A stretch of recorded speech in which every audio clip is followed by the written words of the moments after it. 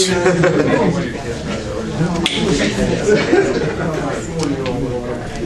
I was sitting right next to you.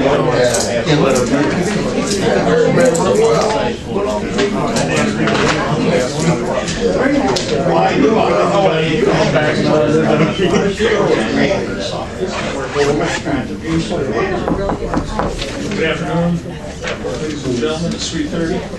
Call the Ways and Means meeting of March first, two thousand twelve to order. Roll call, please. Commissioner Cross. Here. Commissioner Derezinski. Here, Commissioner Engle. He's excused. Commissioner Jagger. Here. Commissioner Longmire. He's excused. So he was ex- He's excused. Commissioner Mahoney. Here. Commissioner Plummer. Here. Commissioner Scolnik. Here. Commissioner Snider. Here. Commissioner Wilkins. Here. Commissioner Collins. Here. Thank you. Could I have approval of minutes of the regular meeting of February twenty-first? So moved. Second. Moved and seconded. Any corrections? All in favor, say aye. Aye. Opposed, say no. Motion carries. Item B, closed session meeting for February twenty-first. Second. Moved and seconded. Comments on that? See now, or Mr. Stolman? Does somebody want this back? Yes.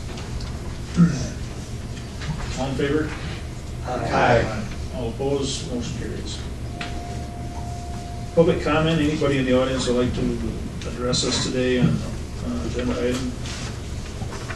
Come forward and state your name, please. Hi, Eric Rotuck from Muskegon. Um, I wanted to comment about the bidding process, in particular, uh, WM one two, uh. This is one of many times we've done, uh, bids, um, sent out a lot of them. Very few come back, then, then getting disqualified. I think the county really should look a little bit more at how the procedure's done. Because if we're having so many people disqualified, a lot of people are misunderstanding. And the job is communication, so that uh, the people bidding can actually know, because our job is to do the best, receive the best bids possible. And if they're not understanding the bids right to do it right, there's an issue. We might write everything technically, but we have to write it so that the normal person can understand it. I would suggest the commission to just take a look at that, because this is at least the second time in a week or two that I've seen it, where a lot of them have been disqualified for various reasons. Then they may have legitimately been disqualified, but think there's a communication issue that the board should look at.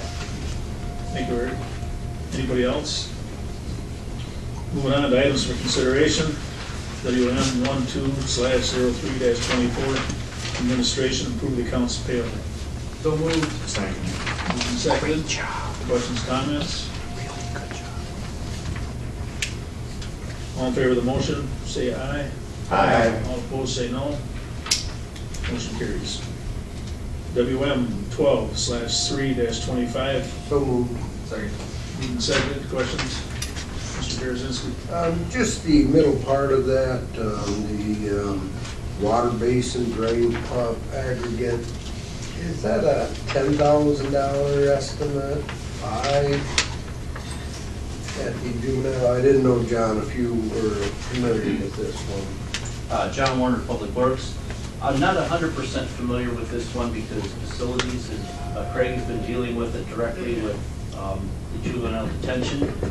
Um, I don't think it's a super expensive one because it's not a really large area that needs to be taken care of. I can't give you an exact dollar amount, but it's not super expensive. I think what, what they had in the motion uh, up here where it says the excess from the generator will, will cover these costs, I do believe that to be true. Okay, was where I was getting. Okay. Okay, thank you. You're welcome. Mr. Having driven by the juvenile transition center yesterday, uh, that's a pretty good mud puddle or pool that they have in front of the parking lot. You you mean Lake Definitely Wisconsin? needed it. Yeah, yeah, true. We attempted to fix it once before with just a, you know, that didn't work. It just appeared when I saw it last spring that they made it. Any other comments? All in favor say yes. Yes. All opposed say no. Motion carries. WM twelve dash, or slash zero three dash twenty-six, Public Works.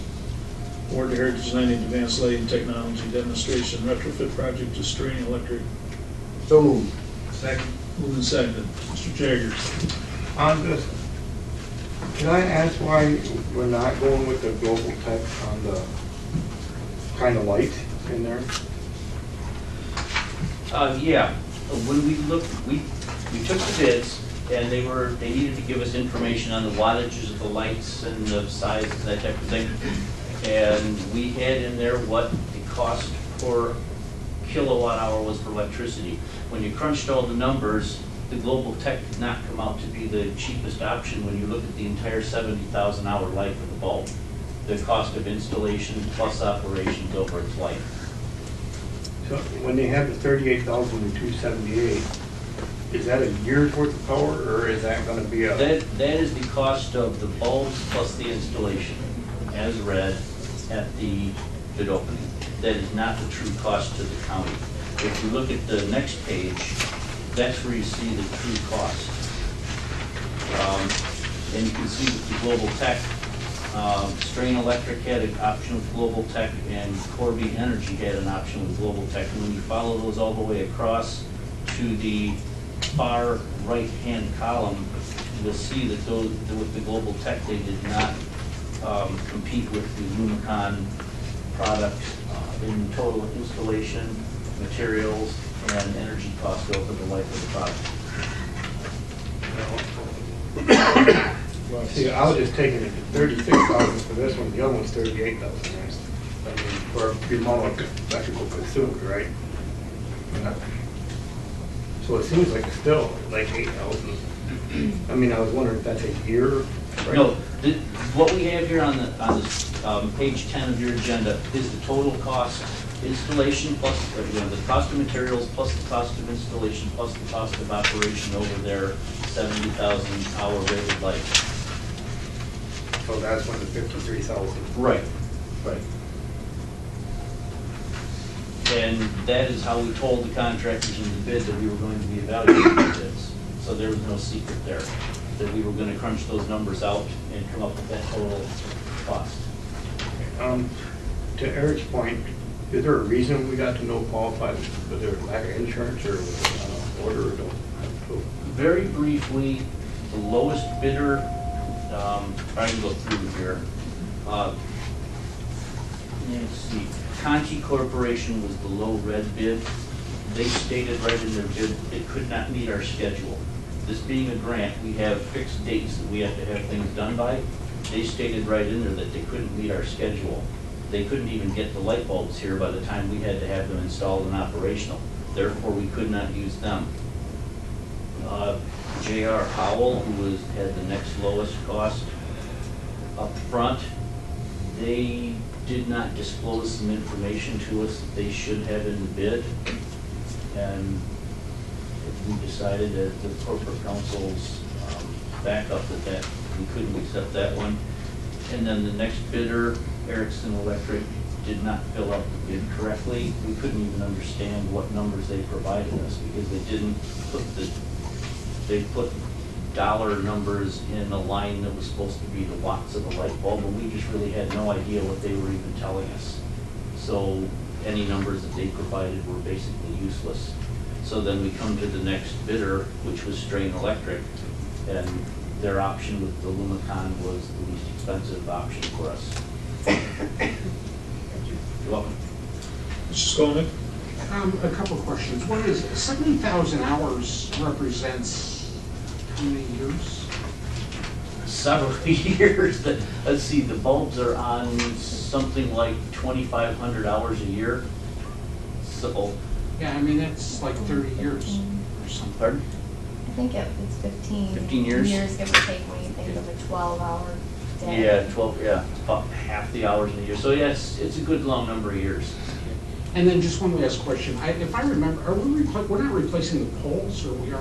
No, we're not Just replacing the the poles or the, fixtures. fi- not even Not the even the fixtures, just what's inside the fixtures. Okay, so there's no, s- anything left over that's worth anything? No, you won't really notice much of a difference, if any, on the looks of the lights out there until they're turned on, whereas right now you have a high-pressure sodium bulb, which gives off a very pinkish orange light, and these new bulbs will give off a very white light, similar to this color that these bulbs are. Mr. Plummer? John, I'm just curious, if Lumicon happens to be the best bulb out there that provides the longest service at the cheapest price, why didn't you put that in the specs if that's all they can bid? Because there's quite a few different products out there, and they all offer different options. Uh, We didn't want to limit it. But according to this, you knew that that would be the cheapest, or, I mean, you did the figures, they didn't provide them, correct? No, they gave us the information on their product, and we just cranked it through the equation to see how it all worked out. We, we told them what the electricity cost, and they told us how many watts their bulb would take. What we told them was the temperature range that we wanted it in. We wanted your bulb somewhere between 4,100 and 4,900 Kelvin degrees color, so they had to be in that range. And they told us how many watts their light bulbs would be, and we cranked out the math with the cost of power to see what it would cost us over the life of the bulb to operate. Oh, so that was up to them to figure out which would be the cheapest Yeah. bulb to propose? Right. Okay, that's, I Right. just wanna know that we didn't have to with No, we just, we compared apples to apples all the way down the line, and they just told us what product they were proposing to use. Yeah. I'm just looking at what Blasco did, they must not have looked at the Lumicon to, you know, figure it was cheaper, so.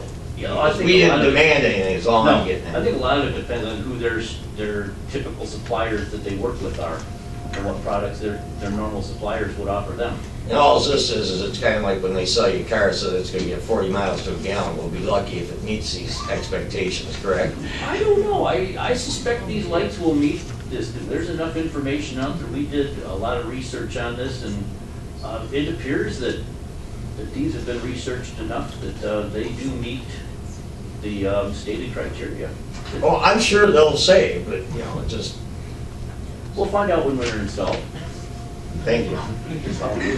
John, not that this is gonna affect. It's a good time. um, This will affect how I think anybody votes, but are these things made in this country? I'm just curious. Yes, as a matter of fact, they are. Anyone else? Thank you, John. All in favor of the motion, say yes. Yes. All opposed, say no. Motion carries. WM one two slash zero three dash twenty-seven from Public Works. Second. Moved and supported. Questions, comments? Mr. Jagger. I kind of like to know just exactly what these are gonna do. Leslie Rose, Sustainability Coordinator for Department of Public Works. Um, This, this project is one that I applied for the DEQ um, almost a year ago. Um, And it's basically, the goal is to really define and establish a a baseline for the county so that we have energy data, um, water, waste, fuel consumption in one accessible place to help us inform um, you know, strategies for the county, long-term, mid-term, long-term, short-term, mid-term, and long-term strategies. Um, the other thing that I've been finding is that a lot of grants, or a few grants that I've, seen, um, recently require a locally adapted sustainability plan to apply. So I think this is gonna help us really strategically, um, not only, you know, from an operational standpoint, but to tee up. Just pinpoint like areas where we use more energy than Yeah. we should be and things like Yeah, that. To have qualitative and quantitative data to help, to help establish um, priorities for the county and, um, you know, also to help strengthen the efficacy of my position, um, to have a lot of data in one place will be really helpful. Um, And hope, you know, hopefully for all of the departments as well. Mr. Plummer. The in-kind, uh, how is that based and how did they know it would be seventeen hundred dollars? Our in-kind, I'm just, I'm just curious on what is that gonna involve with, That's in kind from, from the consultant. Um, it was specified in the RFP that this grant, the maximum amount is seventeen thousand dollars for this project. So they based their proposal and they built in their charge out based on, on that number. So all the, all the respondents knew that that's, I mean, it's public, public information that, that's the maximum amount that this, that this grant project will, will cover. So they wrote in kind in, they didn't have to, but Oh, they okay. did. Another comment? Thank you. All in favor of the motion, say yes. Yes. All please, all opposed, say no. Motion carries. Old business, Mr. Derezinski. Just a question I had for our sustainability coordinator. How how much stuff are we accumulating with this renovation? Are we getting plans to, I know we were renting storage. uh, Is it disappearing? I mean, I- that's not the right word, is it? We've, we started to implement where if if a department has something, and I'll just kind of try to summarize where we are with this. I don't mean Um, to put you on the No, that's spot. okay. If, if, if We the had department has trailers. something, yes, I know, I've been in them. Um, if, if a department has something that they no longer can use, um, you know, we're, we're working on a system to offer it up to other departments, and we've had some success where, you know, the airport's been able to use some old filing cabinets from the health department and, and things like that. You know, going forward, um, you know, I- in we're gonna be meeting with some local auctioneers to talk about how we can better manage these things, so it's definitely on, on the radar. Could they be made available to maybe some of the other units of government before we auction it at, at no cost? I mean, auctioning isn't cheap sometimes. Just, just a thought. Yeah, that, with the generator issue, that came up with the generator issue, and um, that's something that um, we'll be looking at. There's currently a business model that's being used through the county where the businesses are looking at using, um, and Leslie's been involved in that, um, looking at using, um, utilizing surplus property.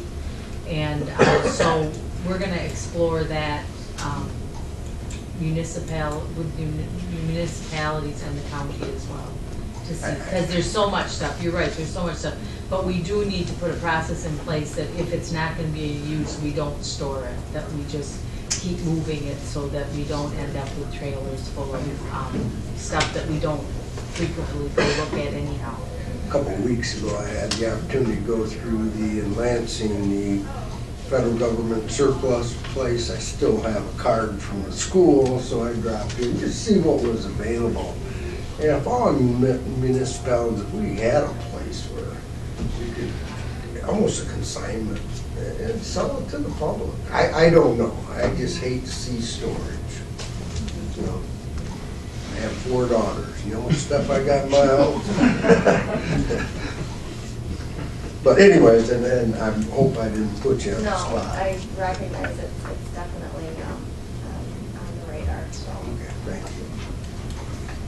Any other old business? Is there any new business?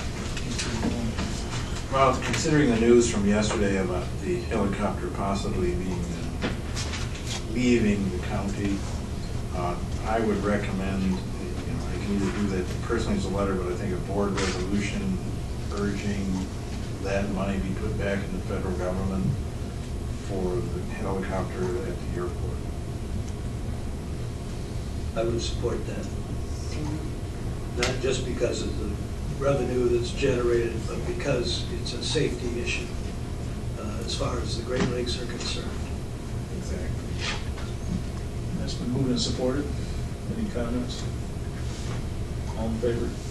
Aye. Yes. Opposed, motion carries. Aye, aye. Any other new business? Seeing none, let's move to the audience for public comment on a new topic. Anybody in the audience like to address the board on a new topic, please come forward. Seeing none, I'd entertain a motion to adjourn. Moved. Adjourn, all in favor? Aye. Adjourn, thank you. You don't burn out very much film in this, do you? Well, since we don't use film anymore, I know, it I know. for folks in Rochester, New York. No, but what it does uh, allow me when it's a short video is the uploading times are not so onerous. I get to use my computer a little more often. Because when you do upload it, uh, well, it does, uh, it does take a lot of uh, power. Thankfully, I actually have a dedicated computer just for uploading, but sometimes, like uh, last week,